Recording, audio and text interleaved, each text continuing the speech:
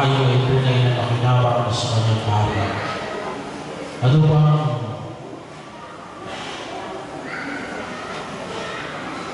Aminin natin ang ating mga sanumpang tayo maging malapat sa pagdalibong ng banal na pagkahain ng bubulot ng kapatawaran ng may kapal.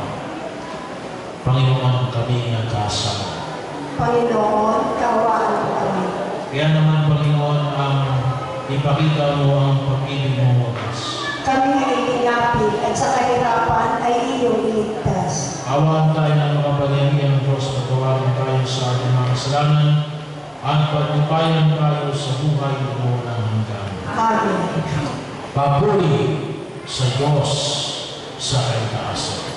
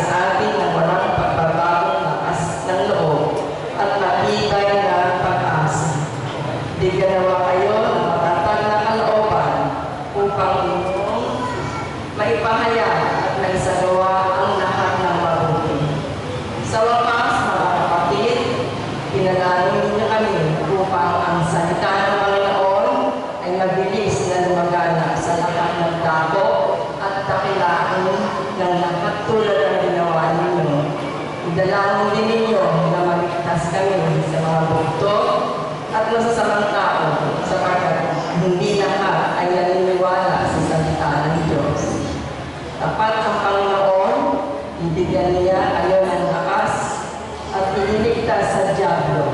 Dahil sa Panginoon, malaki ang aming pagtitiwala na ginagawa ninyo at patuloy na gagawin ang mga sinabi namin sa inyo. Akayin nawa kayo ng Panginoon tungo sa pag-ibig sa Diyos at sa pananatili kay Kristo. Ang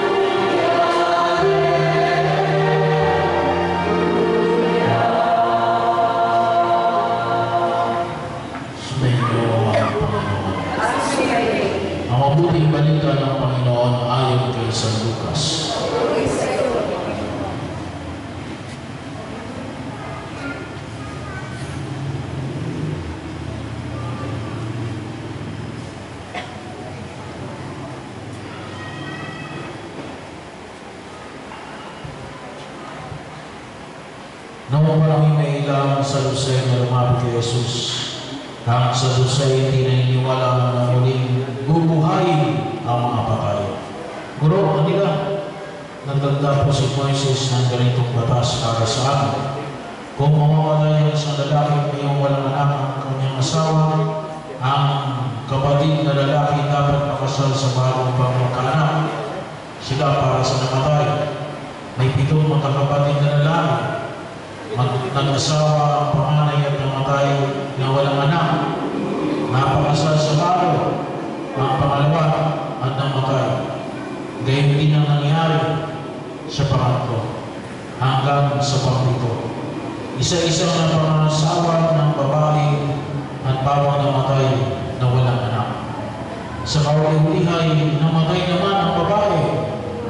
Sa muling pagkabuhay, sino po sa inyo ang kikilalaning asawa niya. Yamang napakasawa niya silang lahat. Sumagot sa Jesus. Sa buhay na ito ang mga lalaki at mga babae na kaasawa, ngunit ang mga lalaki at babae, karapat dapat na muling buhayin para sa kabilang buhay ay hindi na magkaasawa. Hindi na sila mamamatay. Sa buhay matutulad sila sa mga anghel at sila yung mga anak ng Diyos. Yamang muli silang binuhay. Maging si Moses, ay nagpapatunay na muling pinubuhay ang mga patay sabagat sa kanyang kasaysayan hindi sa nagliliyam ng mababang punong kahoy ang Panginoon tinawag ng Diyos ni Abraham, Diyos ni Isaac, at Diyos ni Jacob. Ngunit ang Diyos ay hindi Diyos ng mga patay, kundi ng mga buhay. Sa kanyang buhay ang lahat, sinabi ng ilan sa iskriba, magaling ang sagot ninyo, bro, at wala nang maasa magtanong sa kanya ng alaman. Ang mabuting balita ng Panginoon.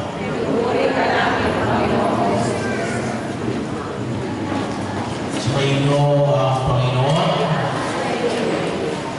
Tulad po ng pinaayaw natin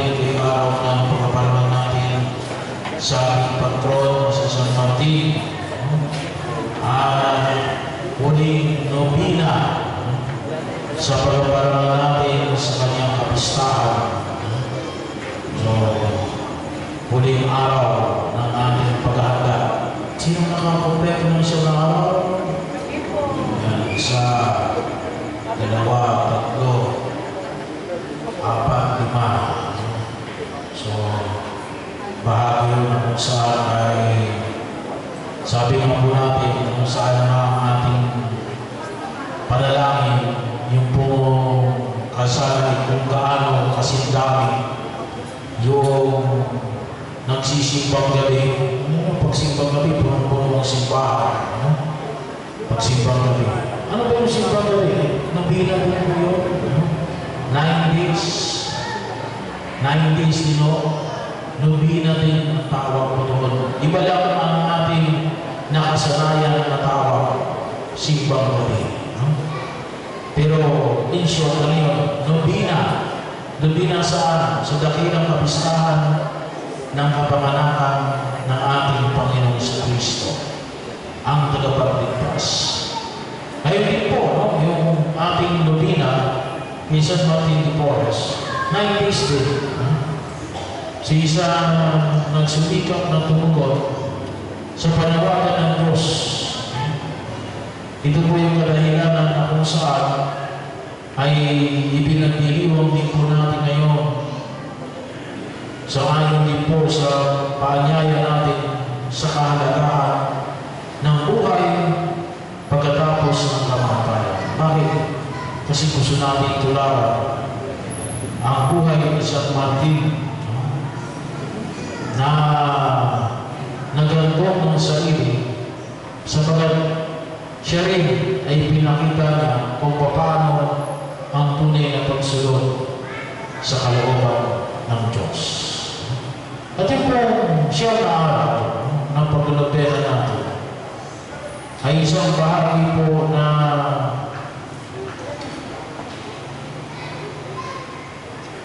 sabi nga ko sana at least meron tayong lima na nakatapos. Sana nga po meron talagang mga uh, nakapaglalubina ng siyam na araw ay sabi nga ako natin yung intent sa inyong panalangin, sa inyong intention. Kasi ganun po yun. Kapag sinabi pinaglalubina, may intention ka na sa loob ng siyam na araw na yun, ipinagdadasal mo. At inanayos mo rin na ipagkamit ng makamit mo sa tulong ni San Martin. Natigil sa lahat, sabi nga natin, itong ginagawa natin, acts of piety. Sabi rin natin nakarang araw, acts of charity and acts of penance. Kaya ito, ah, ito ay mga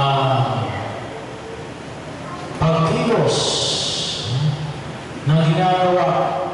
Bakit? Sapagkat tayo ay isinilang para sa lahat. Tayo ay para sa buhay pagkatapos ng kamatayan. Sapagkat tayo naniniwala na may buhay pagkatapos ng daigdig na ito. At ito yung binibigyan para siya din sa atin sa mga pagbasa ngayon. Kung mayroon bang buhay na walang hanggan. Kaya po nagtatalo ang mga Saduseo at si Jesus. sa mga Saduceo, Saduceo, iba o yung Pariseo. Yung Saduceo naniniwala na walang muling pagkabuhay. Ang mga Pariseo naniniwala na muling mayroong muling pagkabuhay. Kaya lang, yung kanilang paniniwala ay hindi pa kasing tulad ng paniniwala na Jesus. Para po sa mga Pariseo, ang akala nila ay yung muling pagkabuhay is just a continuation of earthly life. Bahagi yun ng kung saan ay, ay nais rin itama ng ating Panginoon sa Kristo. Kaya ang dito, sa unang pagkakataon na ipinamamanig sa atin, doon sa halimbawa na ibinigay ng isang Saduseo, kung talaga ba mayroong muling pagkabuhay, may buhay ba pagkatapos ng kamatayan? Kasi nga, ang tanong dito ay binigyan ng question na sino? Sino sa pitong ito ang maging asawa ng babae ito pagdating sa buhay na walang hanggan? Kasi nga naman ay ay pito. no? Ay ang kanilang pagkaunawa ay eh, sino nga ba sa pito? Hindi nila nakita, iba, iba yung iba ang pamantayan doon sa tinatawag nating buhay pagkatapos ng kamatayan. Iba ang pamantayan sa langit. Pero isang bagay yun na kung saan ay huwag nating kalimutan, lalong-lalo na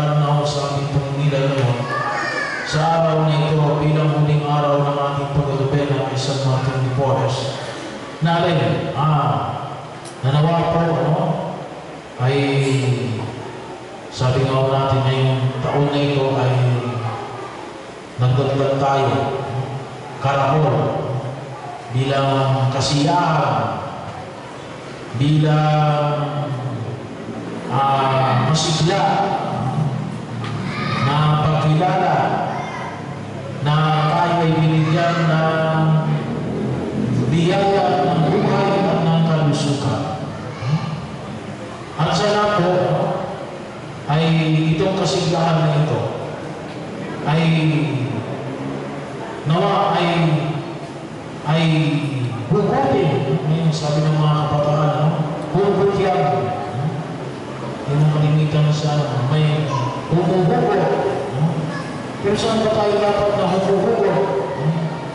Yung aming kasiyahan ay dapat ay kaligayahan na rin. Dapat humuhugo katulad na ipinamanik sa atin sa ating divorce. Saan? Sa ating Diyos sa ating pagkilala sa ating Diyos. Yun ang buhay na walang hanggan. Ang makasawa ng Diyos. Kaya nga, ito yung patuloy na hamon na bakit tayo nagsasaya ay gawa ng Diyos. Katulad ni San Martin de Porres. Kasi kung minsan mo kasi, ang ang temptation ng daigdig na ito rin, ah, magsaya tayo magsaya tayo. Kaya lang kung minsan, ang nangyari? Naghahanap tayo ng kaligayahan without the meaning. Hmm? At bakit? Ang gusto lang natin ay maging masaya. Pero hindi po magiging wagas yung kasiyahan na yan kung ang kasiyahan ay walang kahulugan. Lalo-lalo na kung yung kahulugan ng kasiyahan ay kaya hindi hinuhukom mula sa Diyos. Sa kanyang kasiyahan sa Torres, yung kasiyahan niya ay hukom sa Diyos. Give you one example. Kanina, ako na natutuwa sapagkat maraming sumama sa karakol. Kaya bago magsimula po ng ating karakol, isang napansin ko, wala image si San Martin. No? Masyado tayong nabala sa ating kasiyahan. No? Sabi mo, we forget the meaning.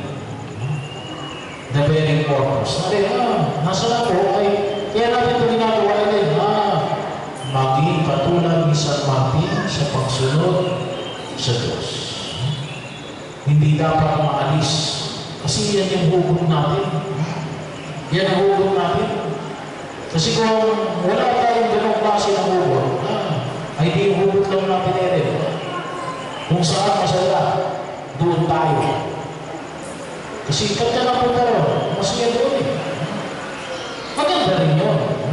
Maganda rin yun kasi pinasasaya ka. But there is no Christian here. Hindi tayo tinuturuan ng ating pananampalataya. Hindi tayo tinuturuan ng ating devotion kay San Martin. Ha? Kaya po dapat po, huwag natin kalimutan that our joy comes from God. At yun ang atin sa Martin Porres. That our joy should always comes from God. And we should be aware. Maging aware tayo, hindi lang mga mga kaligayahan ay tinuturo ng Diyos. Hindi. Dapat ang maging maliwanag sa atin na tunay na bagay na ito ay tunay na nanggagaling sa Diyos sa pamamagitan na ipinakita sa atin ni San Martin. Kaya, maging maliwanag ko, ba't natin ginagawa ito? Kasi nga, may mga buhay na walang hanggan. Ang ano ba yung buhay na walang hanggan? Kanina ko, mayroong patay. Mayroong lilisahan ako sa patay. Sabi ko, ano ba yung buhay na walang hanggan? Hindi ko lang ibang katiyan eh. Ko kasi yung nilibig kanina na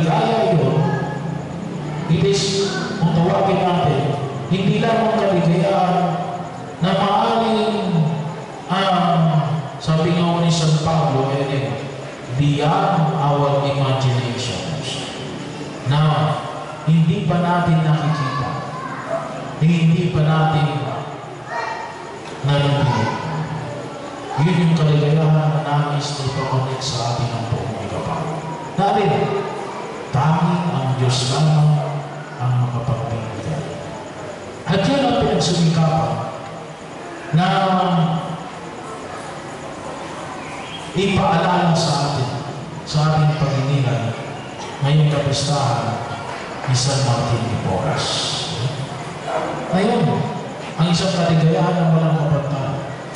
Kasi pwede tayong lumigaya, maraming pwedeng kaligayahan. Pero yung kaligayahan na walang kapantay na rin, ang makapiling ang Diyos.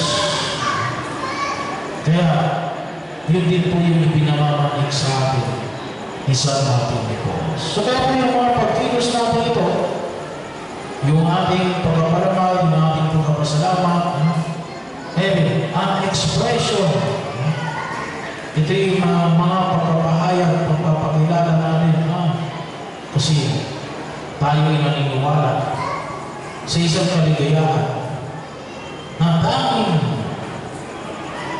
ang Diyos lamang ang makapagbibigay.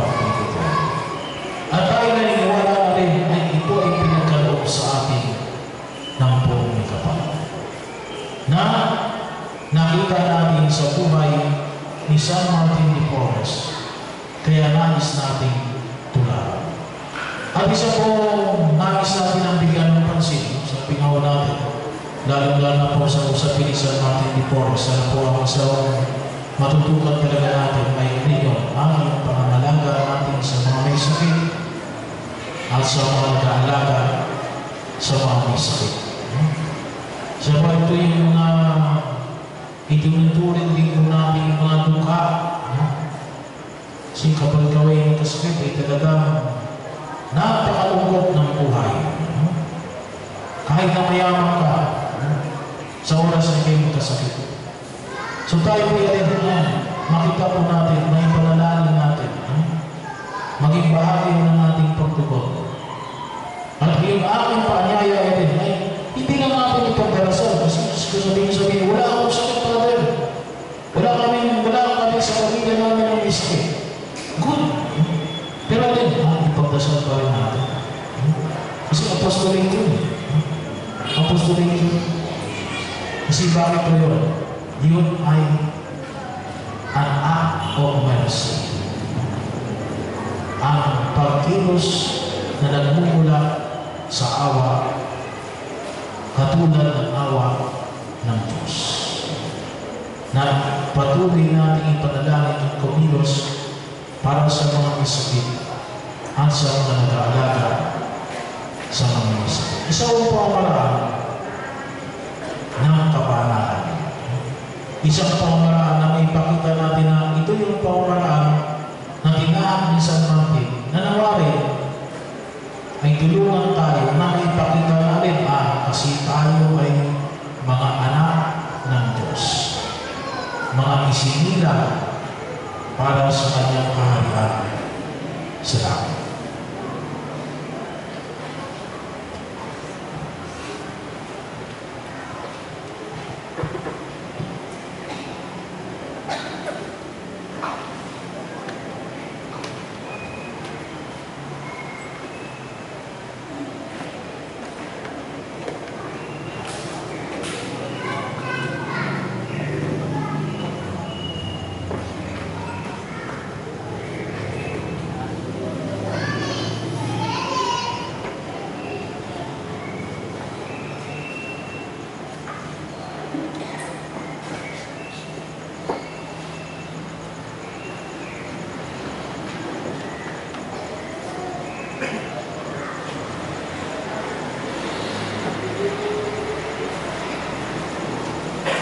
Sumasampalataya ako sa Diyos ang kapangyarihan sa lahat na may gawa ng langit at lupa. Sumasampalataya naman ako kay sa Kristo, ni isa anak ng Diyos, Panginoon natin lahat. Nagkatawang tao sa lahat ng Espiritu Santo. Ipinangalan ni Santa Maria Mire.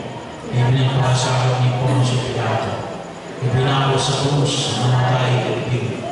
Nanalo sa luwa ng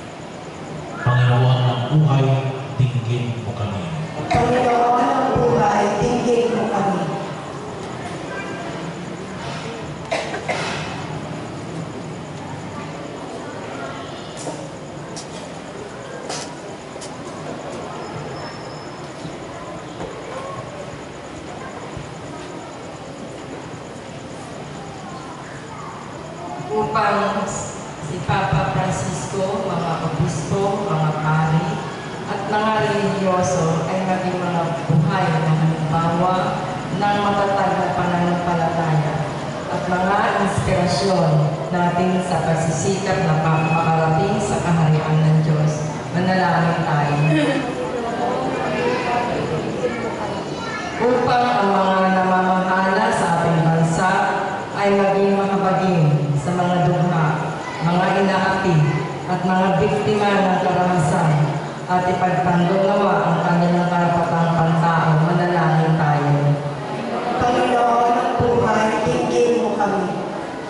upang maunawaan ng mga nagkakamasa ng kaiwanan at ng mga kapangyarihan na anumang bagay na mayroon sila ay kaloob ng Diyos at gamitin nila ang mga ito para rin sa kapakanan ng mga nangangailangan manalangin tayo Panginoon ng buhay, tingin mo kami.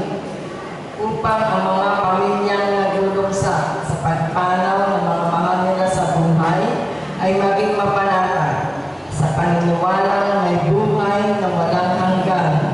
Manalangin tayo. Panginoon